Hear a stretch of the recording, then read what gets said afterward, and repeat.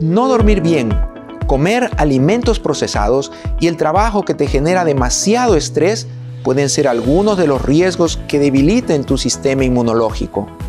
Hoy, aquí en Sanamente, hablaremos sobre los aspectos importantes que pueden fortalecer este sistema. También conoceremos los cuidados y enfermedades que se pueden prevenir con el tipo de alimentación que ingerimos para fortalecer este sistema inmunológico. Te invitamos a que te comuniques con nosotros a través de nuestras redes sociales y en nuestros teléfonos que aparecen en pantalla. Si tienes alguna duda o pregunta, con gusto podemos atenderla. Así que no te pierdas el tema de hoy. Bienvenido.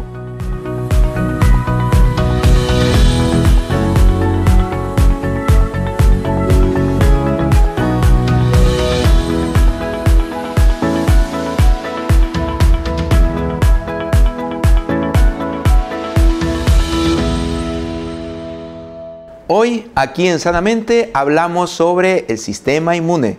Para esto hemos invitado al doctor Jorge Rojas, quien nos acompaña. Él es médico con especialidad en medicina interna y nos tocará algunos tips para poder entender mejor este sistema, cómo funciona y también cómo cuidarlo.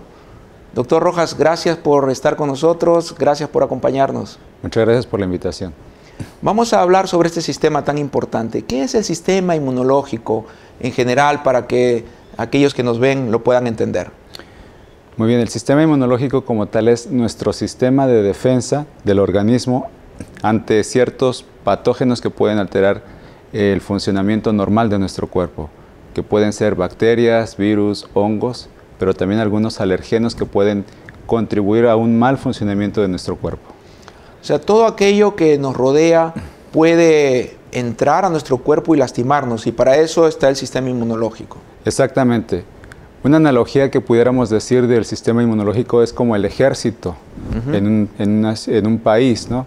Y dentro de este ejército tenemos varios grupos de, células que, que, tienen un sistema o una función específica para combatir ciertos patógenos, ¿no? O sea, está conformada por distintos tipos de células entonces. Así es. Los, como tal tenemos las células blancas y estas tienen una subcategoría de varios tipos de células que nos pueden dar eh, o que responden a ciertos patógenos con mayor intensidad dependiendo de quién no sea nuestro agresor. De tal manera que hay una, una célula específica para cada agresor.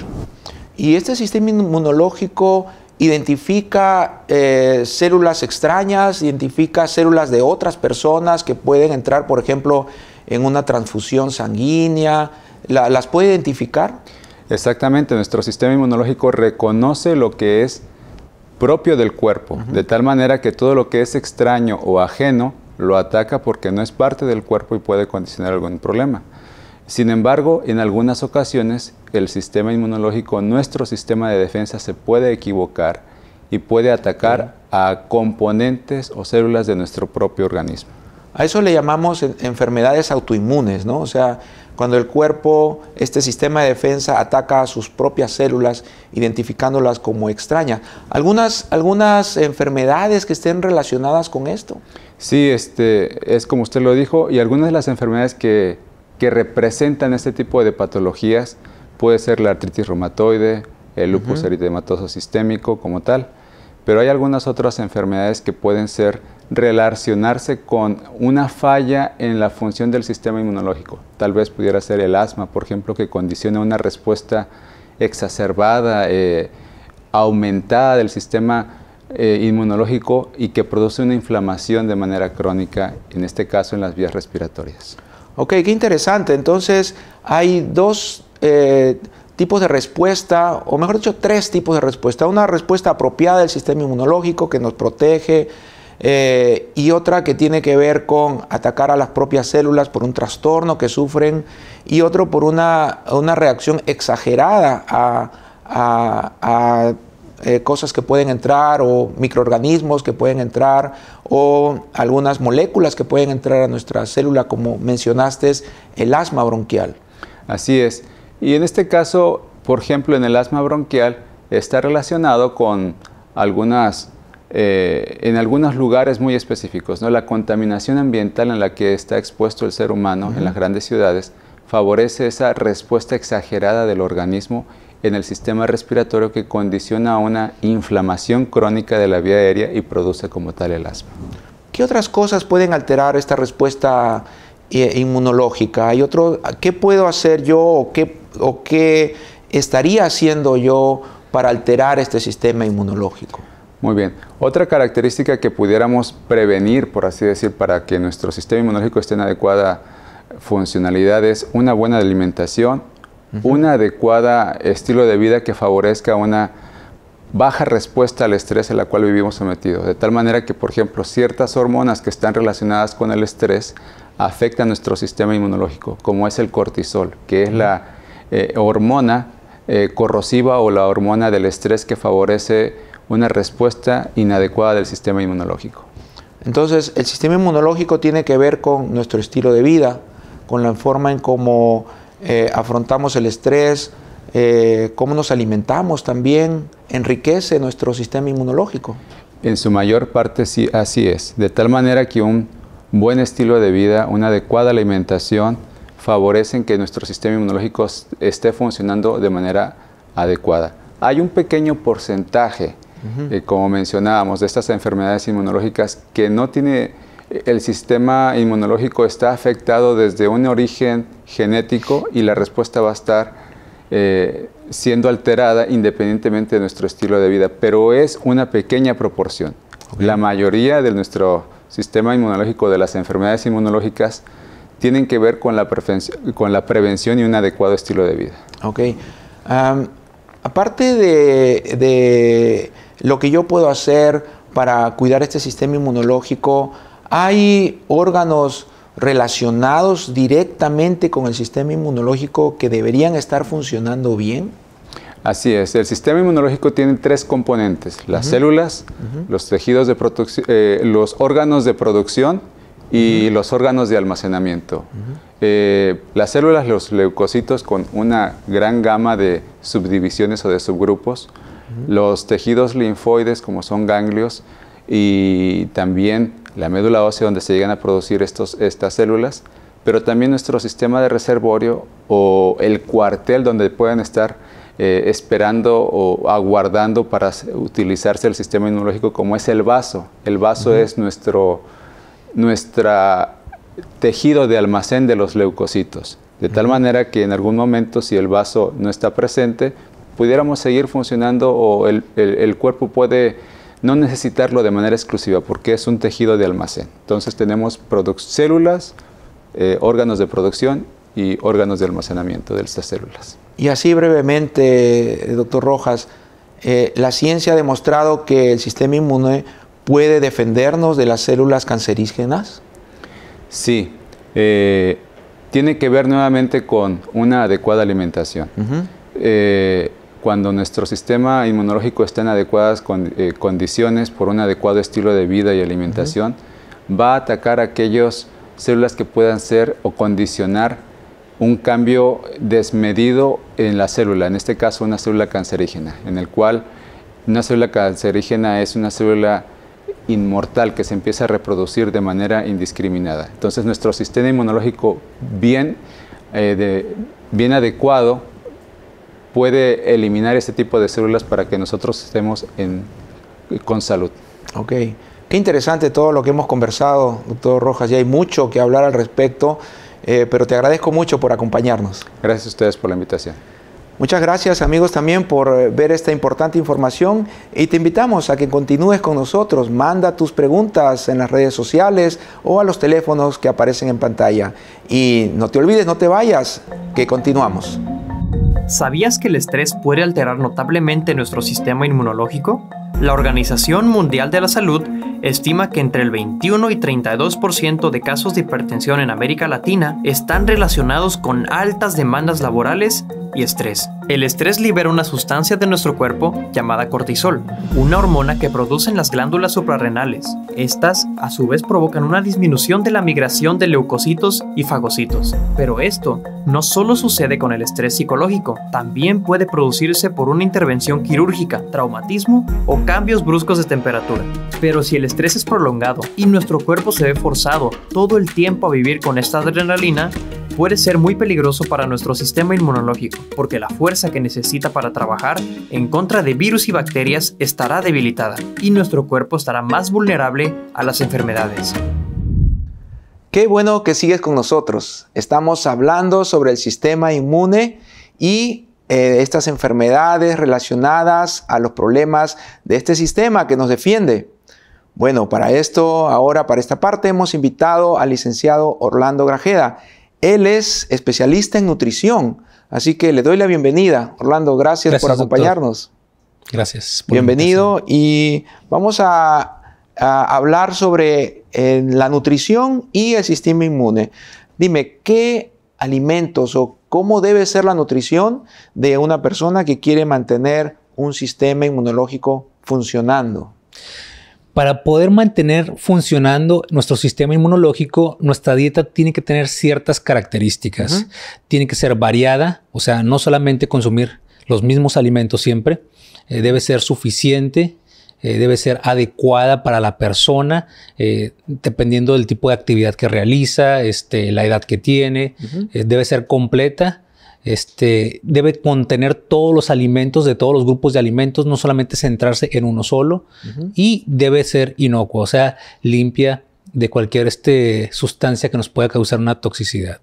Ok, entonces hay que, para esto hay que saber elegir bien entonces los alimentos y por lo que me dices, entonces necesitamos la orientación de un profesional para esto. Sí, porque si nos centramos cuando hablamos de sistema inmune, siempre hacemos referencia solamente a ciertos alimentos.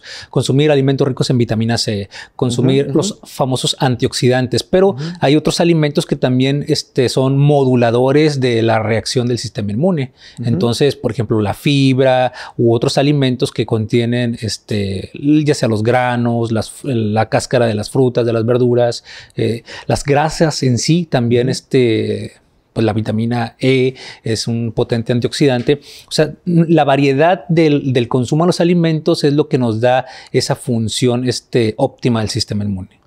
Eh, obviamente nuestro sistema inmune no funciona solamente con pura vitamina C, entonces, ¿verdad? Necesita de, otros, de, otras sustancias que vienen de, de, una diversidad de alimentos, como lo mencionas. Y hay alimentos que eh, que no favorecen el sistema inmunológico, que lo deprimen, que hace que funcione mal? Sí, hay alimentos y hay hábitos que, realmente este, afectan el funcionamiento. Dentro de los alimentos o eh, hábitos que podemos mencionar que, que, están afectando, podría ser el desvelo, ¿sí? El desvelo. Las personas que tienden a, estar este, con problemas este, de sistema inmune, eh, mayor enfermedad, mayores resfriados o este, alergias, son las personas, los trabajadores nocturnos que tienen un periodo de descanso pues limitado. Ah, qué interesante. Sí, este muchas veces se ven afectados en, ciertas cuestiones de salud. Eh, el descanso es importantísimo para la función óptima. Tal este también es el ejercicio, la falta de ejercicio, o sea, el sedentarismo en las personas, esto también este, puede estar afectando ahí. El sobrepeso, la obesidad es otra de las causantes. Y de los alimentos, pues, este, bueno, no son alimentos, pero la gente los, los, consume, este, pues el alcohol, el tabaco, pueden estar afectando también el funcionamiento del sistema inmune, pueden este, afectarlo, este, suprimirlo, ¿no? Entonces, eso sería una de las cosas. actualmente consumimos pues alimentos muy ricos en azúcares, muy ricos en, almidones o carbohidratos que no son, este, que son, mejor dicho, refinados. Mm. Eh, estos afectan también al sistema inmunológico. Sí, el consumo de los alimentos refinados o procesados, ultraprocesados, no aportan este, mayores beneficios al cuerpo. Entonces, eh, si consumimos alimentos de forma eh, lo menos procesado posible, estamos adquiriendo una cantidad de, nutrimentos, este, ya sea micronutrimentos, que son las vitaminas, los minerales, y los macronutrimentos, alimentos con una densidad energética suficiente que van a proveer al cuerpo este, la inmunidad intestinal, porque también a partir de ahí, o sea, hablamos de sistema inmune, pero el sistema inmune pues se divide en varias secciones, ¿no? Entonces, eh, desde, desde este, el sistema digestivo funcionando perfectamente, los probióticos, los prebióticos, todo eso este, en su conjunto, los alimentos ricos en fibra, este, los alimentos que, ese tipo de fibra que se fermenta en el organismo, todo eso es un conjunto para que esté funcionando de forma correcta el cuerpo. Ok, entonces estoy entendiendo de que los alimentos pueden influenciar de manera positiva el funcionamiento de nuestro sistema digestivo o negativa y de eso depende el sistema inmunológico? También desde ahí la inmunidad intestinal del sistema digestivo es importantísima para la función del cuerpo. El agua, el consumo de agua, ¿tiene que ver con esto del sistema inmunológico, de la limpieza del intestino, no sé, algo que tenga que ver con, con esa función? Bueno, pues el agua es importantísima porque sirve como un disolvente y transporte para las sustancias que nosotros consumimos. Entonces, a través de, la sangre, pues va este, sustancias, este, hace que, que, la dilución de la sangre sea mayor o menor. Entonces, el agua es importantísima, representa el 65% de nuestro cuerpo, es importante para los procesos, reacciones que se llevan a cabo a nivel celular. ¿sí? es de ese 65%, una cantidad está dentro de la célula. O sea, si la célula está deshidratada, no se puede llevar a cabo ciertas funciones. Y el agua en sí, pues transporta oxígeno. Oxígeno este, en la célula significa un buen funcionamiento de todo el sistema inmune. Las células del sistema inmune, las células, este, los linfocitos B, o sea, todo lo que tiene que ver con va a hacer que, tengan un mejor trabajo. ¿Qué puede afectar? Este, pues si se acumulan esos desechos este, en el cuerpo, puede estar afectando también de forma negativa. Ok. Eh, habías mencionado al inicio que las cáscaras también deben ser parte de, los alimentos o, deben consumirse algunos alimentos con su cáscara. Pero esto entonces es importante eh, elegirlos bien y limpiarlos bien. Eh, los alimentos que consumimos que tienen mayor cantidad de, este, fertilizantes plaguicidas, o sea, todo eso a veces lo consumimos nosotros este, y eso puede estar este, causando disrupciones endócrinas en nuestro cuerpo, causando reacciones este, pues, contrarias a lo que esperamos. ¿Cómo podemos evitar esto? Bueno, un lavado este, de frutas, de verduras, este, la correcta desinfección eh, de, los alimentos que consumimos van a, este, pues, proveer a nuestro cuerpo las sustancias nutritivas sin esas sustancias ajenas a nuestro cuerpo. Es importante el lavado de frutas, de verduras, la desinfección, sobre todo de, ciertos alimentos que son regados, como la lechuga, este, que puede tener este, eh, ciertas sustancias bacterias que pueden llegar a afectar de forma negativa. ¿sí? Eh, licenciado Grajeda, Muchas gracias por acompañarnos. Realmente es un tema importante este que estamos tratando sobre cómo fortalecer el sistema inmunológico a través de nuestra correcta alimentación. Gracias por estar aquí. Gracias por tu invitación.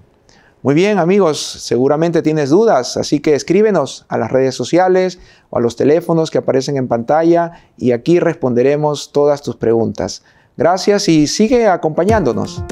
¿Sabes cómo mantener tu sistema inmune fuerte? En el Hospital La Carlota tenemos diferentes programas de estilo de vida saludable para ayudarte a mejorar y mantener tu sistema inmunológico fortalecido. Creemos que la buena alimentación basada en plantas, con nutrientes altos en vitaminas y minerales, son fuente de fuerza y vitalidad para el funcionamiento del ser humano. También creemos que mantener nuestro cuerpo en movimiento con rutinas de ejercicio ayudan a la coordinación psicológica motriz y liberar el estrés de tu vida diaria. Si ya comenzaste a hacer cambios, te animamos a fortalecer tus buenos hábitos visitando el Centro de Vida Sana del Hospital La Carlota para recibir orientación personalizada y hacer cambios físicos, mentales y espirituales que beneficien tu sistema inmunológico, porque lo más importante es vivir tú y tu familia sanamente. Para contrarrestar el estrés, exigencias laborales y algunos padecimientos que pueden debilitar nuestro sistema de defensas, es muy importante el estilo de vida que llevamos. El ejercicio físico y la alimentación son parte fundamental para fortalecer nuestro sistema inmunológico. Debido a que nadie está exento de sufrir diferentes infecciones, debemos comprometernos en cuidar este sistema. Te invitamos a compartir con tus amigos y familiares esta importante y valiosa información.